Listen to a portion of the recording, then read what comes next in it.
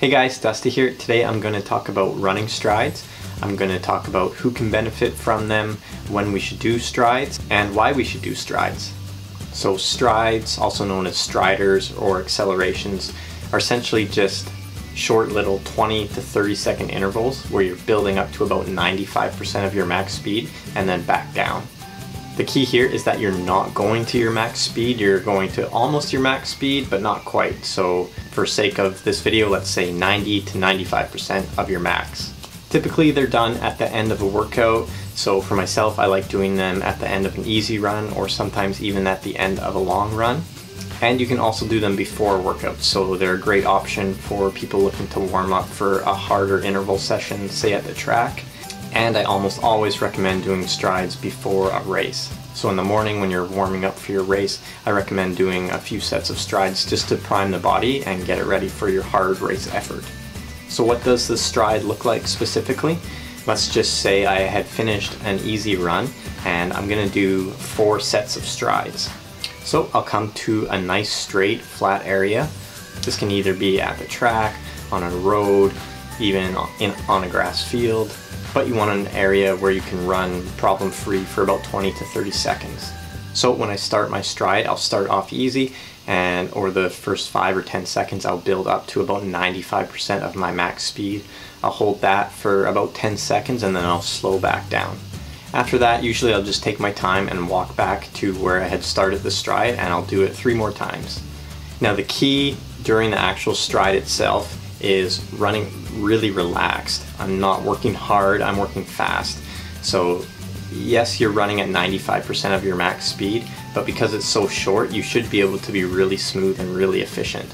So we're not pumping our arms like crazy or grimacing with our face. You're trying to be relaxed and smooth and make it look easy. Just remember fast doesn't always have to mean hard. One of the takeaways of doing strides is becoming more efficient and relaxed at these faster running paces. So I'll do my strides about three or four times after uh, an easy or long run.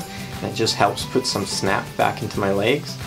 And on the flip side, when I'm doing strides before, say, a track workout or a race, I'm just looking to prime my body and get it ready for the hard mile repeats or the hard 5K or half marathon or whatever the race is that day.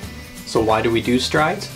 Well, if you're going into a hard track workout or a race, it's a great way to loosen up and prime the body for it to get ready for the hard efforts. It's also a great option for beginners who aren't used to doing harder running yet.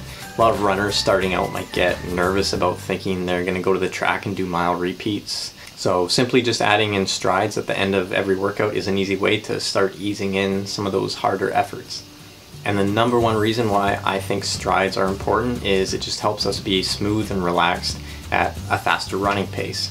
I think one of the best compliments I get when I'm running, especially in a race, is after the race if someone comes up to me and says, oh, you, you were making it look so easy, you look so smooth out there. And I think, well, thank you so much because I absolutely was not feeling that way. I was working very, very hard but if I came across as I was running smooth and making it look easy, then that's exactly what I want. I want to be able to run, say, half marathon pace or 5K, 10K pace and make it look smooth. If it's really hard and I'm on the struggle bus, then chances are I'm probably not going to have a really good race or I'm probably going to get injured. So to review what strides are, they're 20 to 30 second build-ups or accelerations up to about 95% of your max speed. You can start off with doing about three or four of them. Slowly over time you can build up to say five or six. You can start doing them at the end of easy runs or long runs, or if you're doing a hard run workout or if it's race day you can do them before. The rest interval should be anywhere from about one to two minutes. Like I said, I usually just walk back to where I started my stride and start again. So if you haven't started doing strides, I definitely recommend doing them. I know it's something a lot of runners know about, but not a lot of runners do, and I think a lot of people can really benefit from them. There's a reason why a lot of the elite and pro runners do strides, and it doesn't take anything to do them. You just need a couple minutes at the end of your run. So give it a shot, and let's all become more efficient at running faster.